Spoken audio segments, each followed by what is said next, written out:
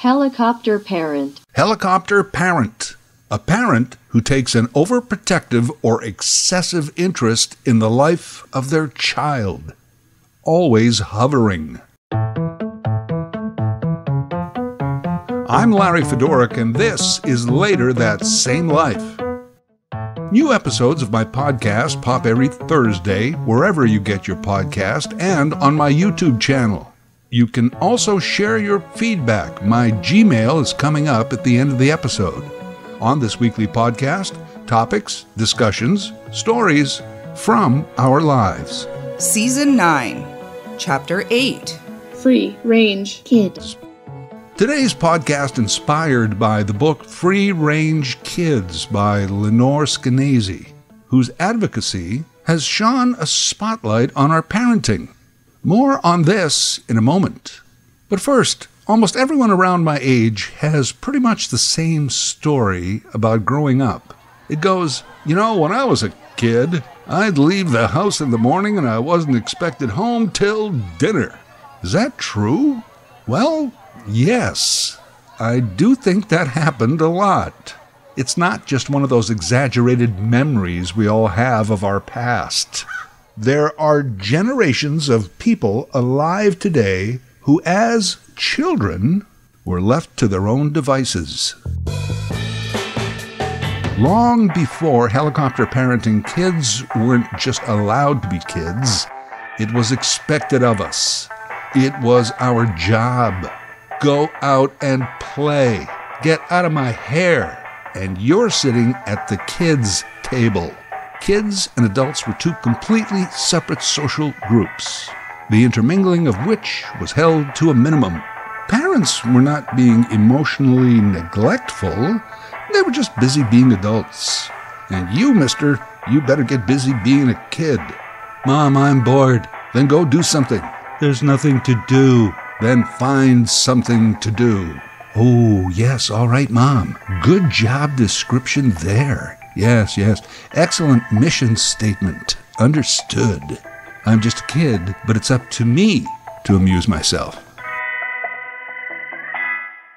At the very beginning of the post World War II baby boom, noted American pediatrician Dr. Benjamin Spock published his book, Baby and Child Care, 1946. It sold a half a million copies in its first six months, 50 million copies in the following six decades. It was the Bible of child care, referred to sometimes as the instructions, how to assemble a child. Dr. Spock's famous quote and general philosophy was feed 'em, love 'em, and leave 'em alone. I'm not saying all parents read the book or followed his credo. Some parents, I'm sure, were just uh, absent and lazy. But it was the general practice. Feed 'em, love 'em, and leave 'em alone. I was literally on my own as a kid almost every non school day. There was some general information that my parents required, but no TMI. Hey, I'm just going out to play baseball. I'm biking out to the lake. I'm going to play at Philip's house. Okay, be home in time for dinner. And how, other than hunger, did we know it was time for dinner? Peter Kenner. Peter Kenner had to be home for dinner for six o'clock. His mom had a whistle, a shrill sports whistle. You could hear that thing all over town. At 20 minutes to six, she stood on their stoop and blew the whistle three long and loud times. Even if we weren't playing with Peter, we knew that somewhere Peter had to be home. So we figured, well, we all probably had to be home also. Okay, see you later.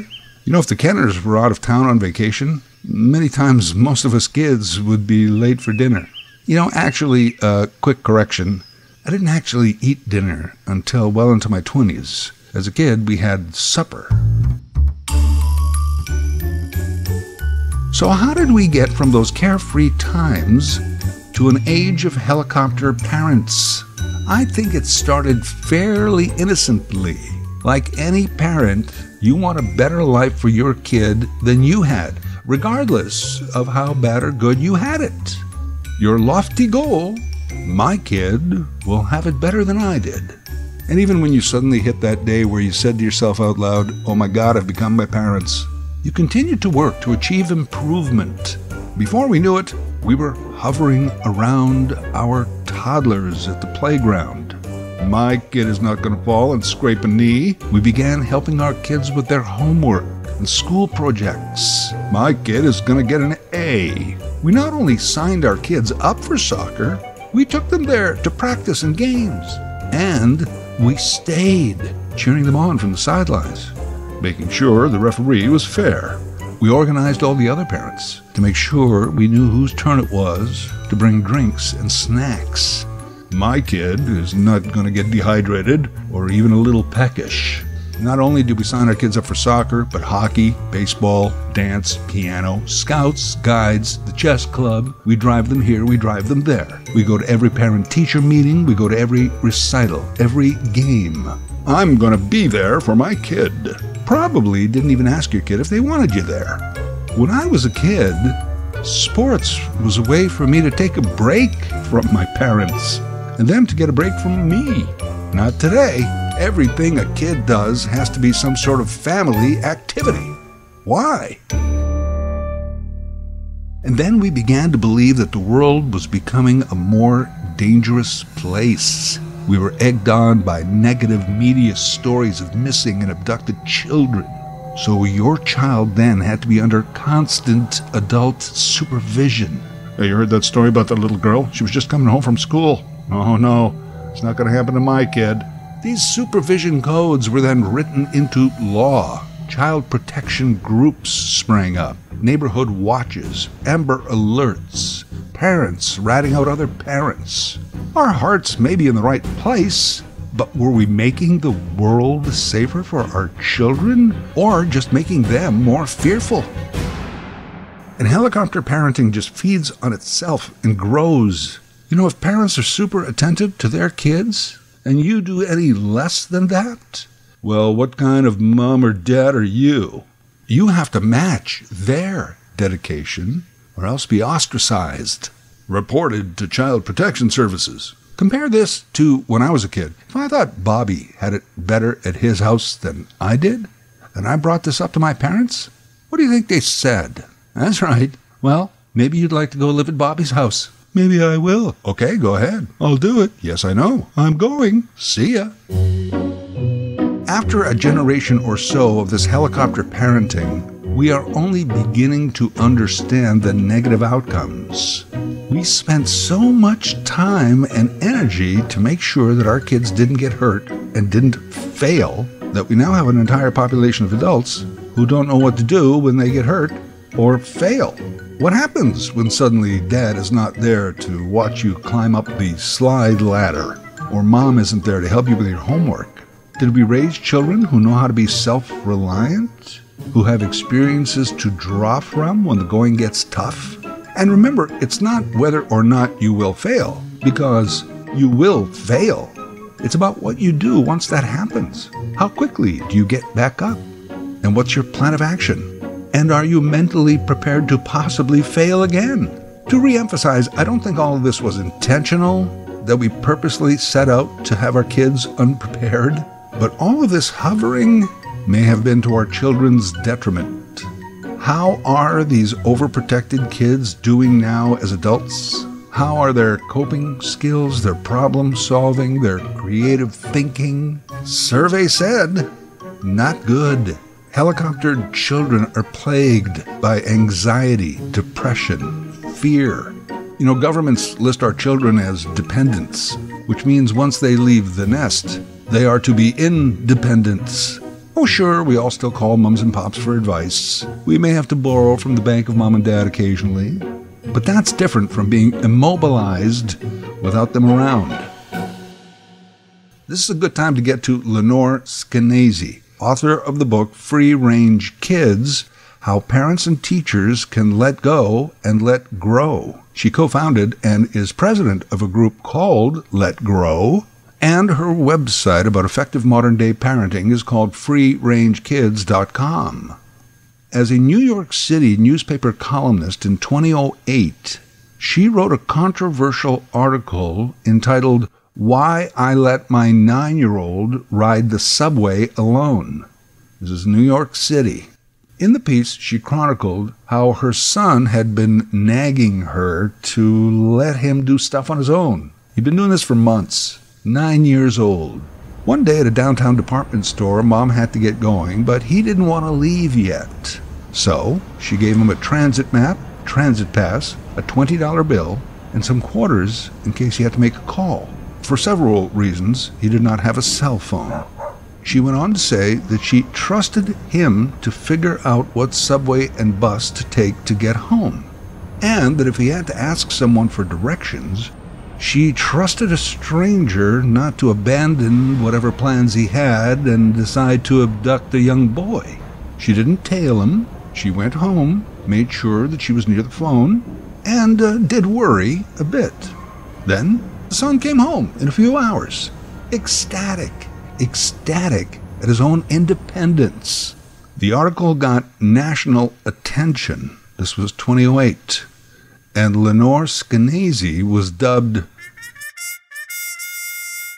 World's Worst Mom. To this day, if you Google World's Worst Mom, her name is near or at the top of most searches.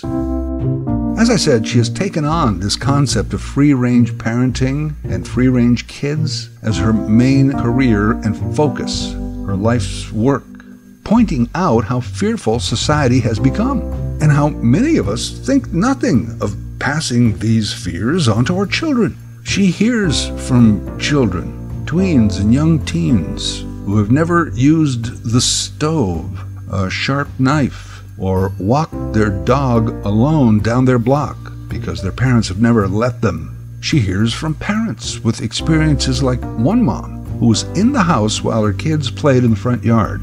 A neighbor saw unsupervised children called police, who then called Child Protection Services. They all showed up in the house and had to fill in an extensive report. Worse, another mom was actually sitting on her front steps while her kids played in the front yard, but she was reading a book. A passerby yelled at her, Put down that book! Don't you realize someone could just snatch your kids up in a second? As Lenore Skenazy has said, and I'm paraphrasing, you really can't constantly organize your life around the worst case scenario. What if, what if, what if? I know, I know. People say, better be safe than sorry. But somehow this is morphed into better be ridiculous and fearful than sorry. Certainly, yes, you treat your babies with care, but you don't treat your children like babies. Free range parenting is not about letting your kids do anything they want. We still have to be responsible adults. No one is saying, hey, teach your kid to swim by throwing them off the dock. You can be a free range parent and still require your kid to wear a bicycle helmet, still limit their screen access, enforce a bedtime. As part of Skenazy's Let Grow program, they also work with schools to encourage independence. I mean, free ranging at home is great, but if you're the only parent doing it, one idea that they use is a homework assignment for grades K through 12, where a child gets an actual homework assignment. Do one thing on your own without your parents and report back on it. Now, this could be anything walk the dog on your own, use that sharp knife, read a book of your own choosing. Here's what one fifth grader wanted to do he wanted to walk a few blocks on his own to a local market and buy a muffin. At the market, the manager asked him where his mom was. He said, Oh, I'm doing a homework assignment about being on my own. After that, a bunch of kids started doing it. The muffin sales were up. I'll mention here that meanwhile, in the Amazon jungle of Colombia, Four kids were the only ones to survive the crash of a small plane. Three adults were killed in that crash, including the kid's mother. The 13 year old, 9 year old, 4 year old, and 1 year old siblings were on their own in the jungle. You heard the story. Frantic searches were mounted, found nothing. Forty days had passed. Hope was fading. And suddenly there they were. They found them, somewhat malnourished and dehydrated, but alive. These siblings were part of an Aboriginal family that knew how to live in the jungle conditions. The 13 year old led all the way, saved not only her own life, but those of her siblings. Amazing story. Closer to home, we're thrilled that a kid can walk down the block and buy his own muffin. Over the decades in North America, since the baby boom, we started out perhaps under parenting, then over parenting. Hey, I'm just thinking this now. Maybe it was that instigator, Harry Chapin, and his rebellious rock songs that he wrote, like Cats in the Cradle. Remember 1974? Redone about 20 years later by Ugly Kid Joe. So it reached yet another generation. Is a song about a dad who has no time for his kid. When the kid grows up and dad has some time, his adult kid has no time for dad. I'm going to be like you, dad. I'm going to be like you. Maybe we all heard that song and, and we said that'll never happen to me and my kid. And then we overcompensated. Well, that's just one theory. You know, it's all Harry Chapin's fault. Anyway, now we've seemed to come full circle, and many are saying that between underparenting and overparenting, there's a spot in the middle that may be much better. Free range, free play, and free time. How much free time and free play did you have? And how much does your kid have? As a young parent, I was a big fan of the teachings of Maria Montessori. Montessori schools still exist everywhere. And by the way, I'm not giving parenting advice. I made parenting mistakes. I'm sure a lot of them. But here is one of Montessori's key principles. The most important period in the development of a human is ages 0 to 3. Second most important ages 3 till 6. If you don't have your act together by age 6, you are a lost cause. Well, no, I'm exaggerating to make a point. She is saying these are crucial years in the development, character, et al. of a human. As a parent or teacher, that is when you expose, develop, expose, develop, expose, develop.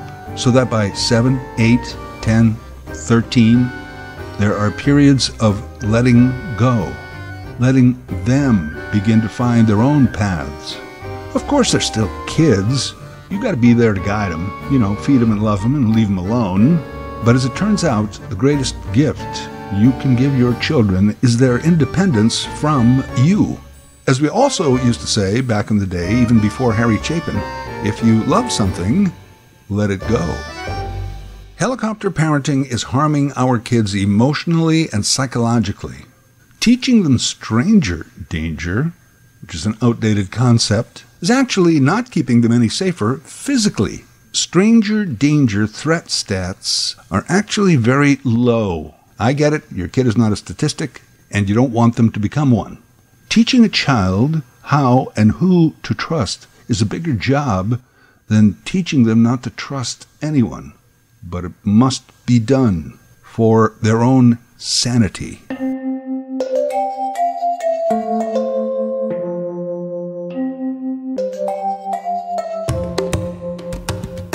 I think it's the perfect time to repeat a quote I've used before on this podcast. Author Frederick Douglass, over 160 years ago, said, It is easier to build strong children than it is to repair broken men. Unquote. Free range. It's not that you have to stop worrying to be a better parent. It's that you don't have to worry to be a good parent.